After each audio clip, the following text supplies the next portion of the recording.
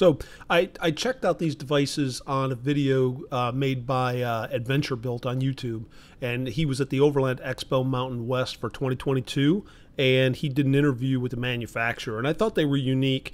Uh, the rope rollers, uh, which are pretty cool, just got released, uh, I guess, a couple of weeks before I went ahead and bought them.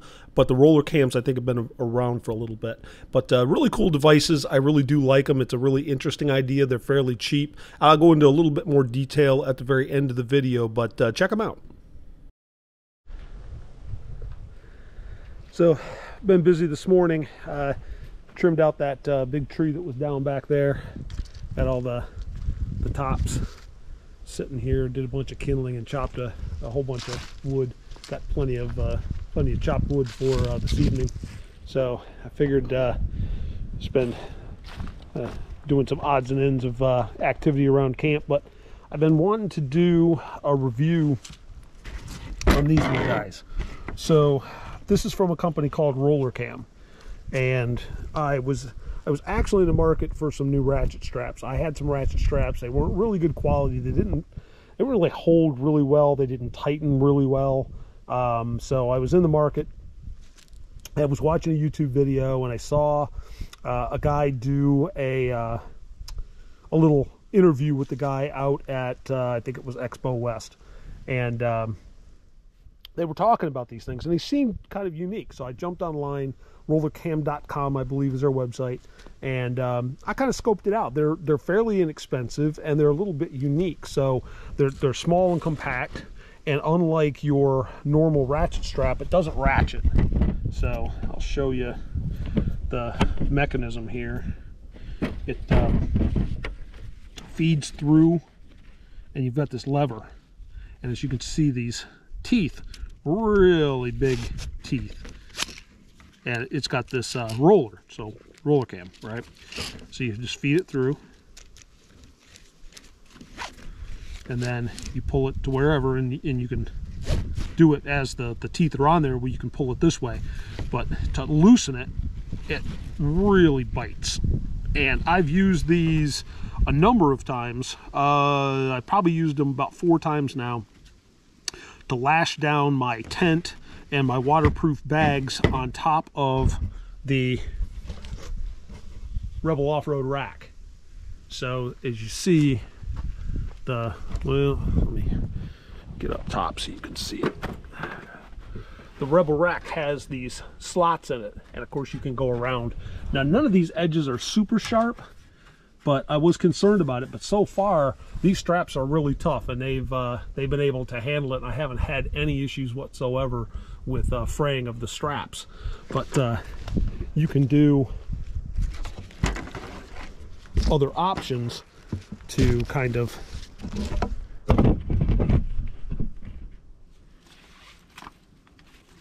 help that. So um, the standard, let me undo this.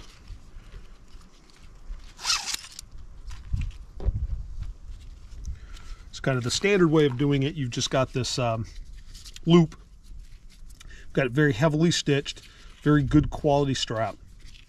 You take this and you put it through, and then you loop it back on itself. That holds really well. And then you do the same with the other end, and then you put it through here.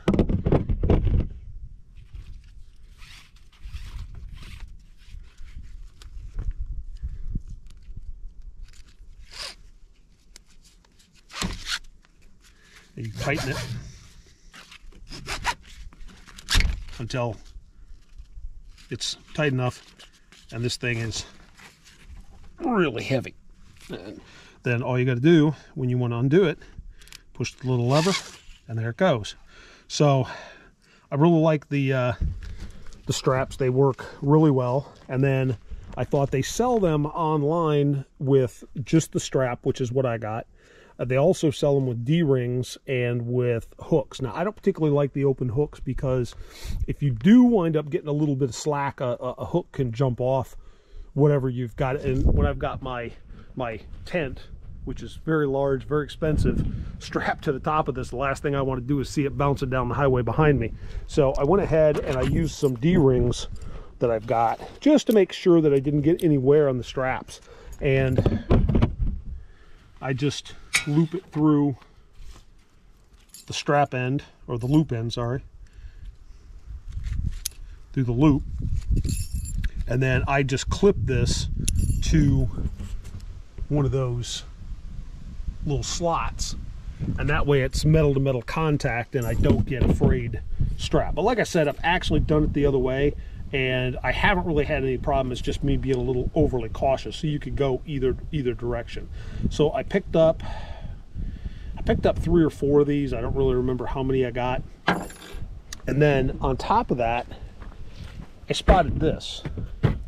And this is a really cool little device. So it's just a, basically a, a paracord um, style cord and it's tied here. It's got a little clip so you could do this on, you know, something that had a loop on it or, you know, whatever. It's opened up, but it's a good, good quality hook. I don't know for sure what that's made of, but it seems to, to be pretty high quality. So then you just loop it back and then it, it's tight. The only way to loosen that is to hit that lever. So you can you can do, and these come in handy. I haven't had as much use for these. I, I bought two or three of those as well, but they work really good. Matter of fact, one day I uh, I had some winds and I looped it around this tree, and the tent was a little bit closer, but I actually looped through here and to the tree just to make sure that the the wind was coming from this side. It didn't it didn't collapse this side of the tent. Um, so they come in really useful for things like that. Just basically something quick and easy to uh, lash stuff down with, it, it, where you don't need the heavy duty strap like this. And I don't I don't remember what they cost, but all this stuff seemed like it was uh, pretty pretty fair prices and kind of an interesting deal after I ordered them. I hadn't even I hadn't even gotten my order yet uh, although they did send it out pretty quickly. But within a day of making the order, I got a call from the guy who runs the company. And he was uh, real friendly, real chatty, and uh, he was trying to kind of get his arms around where people were hearing about him from. And I, I just let him know it was the Expo West, and uh, I saw it on a YouTube channel. And him and I, him and I chatted for a while and uh, he actually wound up sending me a uh, extra i think think an extra one of these.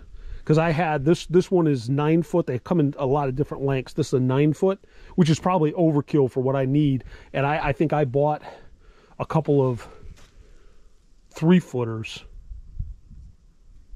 And so now i have two three footers and two nine footers and then two of these. But uh, they seem like a really nice company. They're uh, they're kind of you know catering to more the I don't want to say they're catering to the off-road community. I think they're just trying to sell stuff like most companies, but um, they they seem to be real focused on some of those areas. You know, the overlanding events and stuff like that. And, you know, there's some practical application for their stuff in in our market. So uh, I always carry. I wanted the three footers because a lot of times if you're if you're off road and you uh, break something like a, a steering mechanism or you, you, you, pop a spring mount or something, you need a strap to be able to strap that down. And you want, you know, heavy duty strap like this. And, and I just thought this was nice to where you could, you know, as hard as you can pull on this, you can tighten that up and then it's going to stay until you, until you press that button. Now I haven't used it in any of those type applications, but I think it'll, it'll work quite well. So um, those are the, the roller cam mechanisms. If, uh, you guys are uh, interested, go out and check them out on the web. Uh, they seem like a really great company and they're making a really good product. So, hey, I just wanted to pass on a little additional information. So, I picked up a set of six of the rope rollers. Each one of those comes with a six foot, three millimeter cord. You could swap that out for any similarly sized cord and customize it if you wanted to. The roller cams I originally picked up uh, four of the three foot versions to do trail repair, and then they sent me two of the nine foot versions. And honestly, the nine foot versions I've been using more often because of strapping stuff to the top of the the Jeep. But um, the owner mentioned that you can just take those nine foot and they sell anywhere from three to 25 foot versions but you could take any of those and trim it down to where it, it met your requirement and then just melt the end so it doesn't fray so a very flexible product i really liked them uh, please do all the good youtube stuff liking and subscribing and everything else and we'll see you on the next video